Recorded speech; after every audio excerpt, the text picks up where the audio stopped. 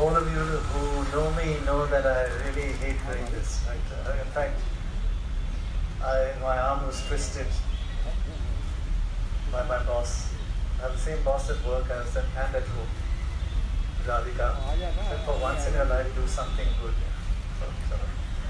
But I must say that um, it is great, great to have all of you here. Honestly, it is moving and I want to remind every one of you, we are all here because of these gentlemen.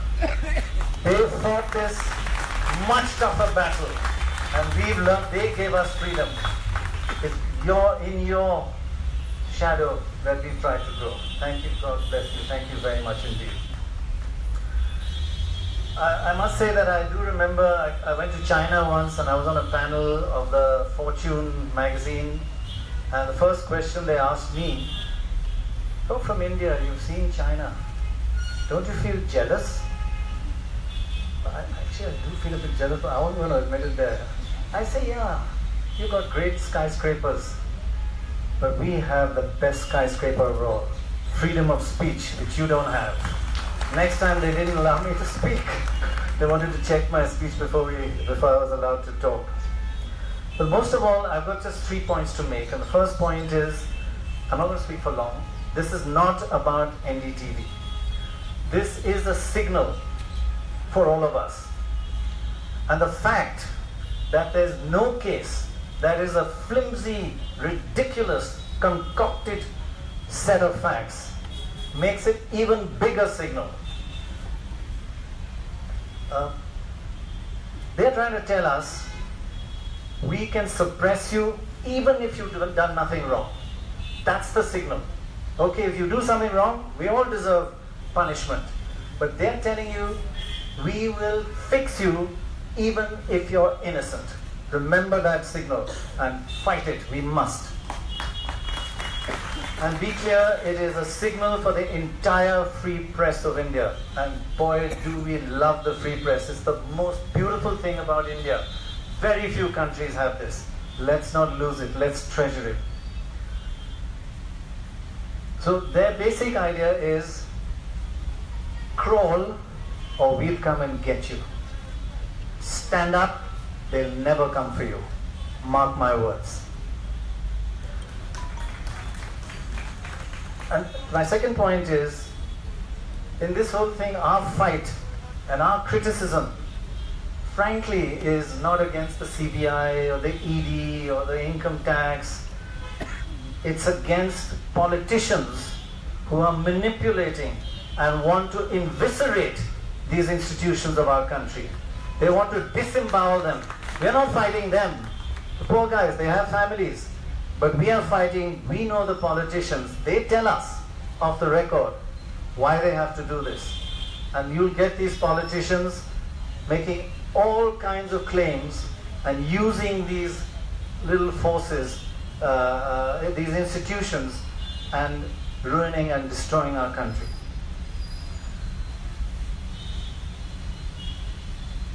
Our fight is not even against Sanjay Dutt. He's also being used. He's just a, another tool, he's another uh, person that is being exploited.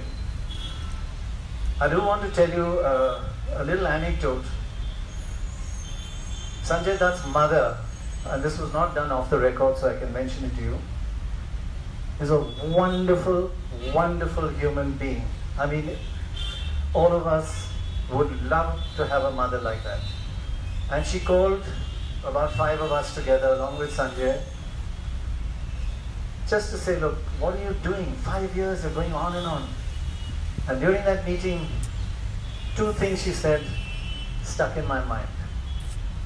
First, she said, Beta, these are good people. You have made a mistake. Now, Beta, fix your mistake.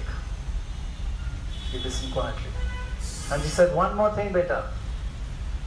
Every day when I say my prayers, I pray more for them than I do for you. To this wonderful lady, and I hope the son remembers those I doubt he does. He's just another uh, what do you call a bolt in the system.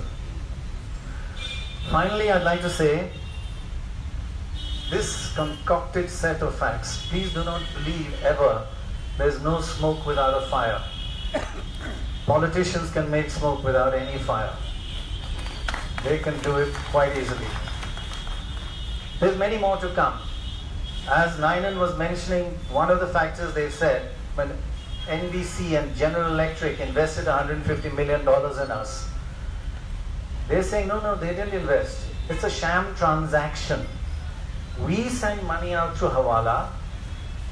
Mr. Immelt and Mr. Jeff Zucker, who's now head of CNN and was head of NBC at that time, they acted as money launderers and round trip the money back to us. That's the accusation that India is making on General Electric and the head of CNN worldwide.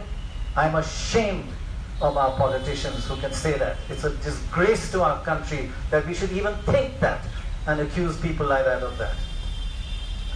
They've also accused us, and I'm not joking, of carrying on a prostitution racket in the income tax department. NDTV carries on a prostitution racket in the income tax department. You know, we do things properly, not by half measures. They're accusing us of siphoning money, no evidence, but it's all part of the uh, part of the game. All I can say is here today I commit that we will answer every one of these false charges openly and transparently. All I ask is please make it a time-bound process.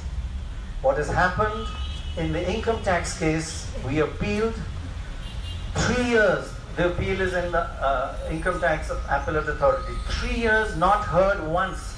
The government lawyer has asked for 21 adjournments in three years, and we were asked for zero.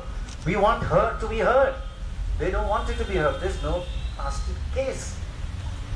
So if this can all be put together and in a time bound, three months, six months, overseen, open, transparent, we would just love that. And I think all of us, in all our issues, just ask for transparency and a deadline, please.